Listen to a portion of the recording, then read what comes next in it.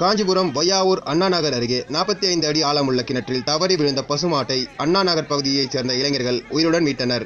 வையாவூரை சேர்ந்தவர் பிரகாஷ் விவசாயி. இவர் நேற்று அதே பகுதியில் உள்ள வயல்வெளியில் பசுமாட்டை மேய்த்து கொண்டிருந்தார். அப்போது பூபதி என்பவரின் வயலில் இருந்த நாற்பத்தி ஐந்து அடி ஆழமுள்ள கிணற்றில் எதிர்பாராத விதமாக பசுமாடு தவறி விழுந்தது.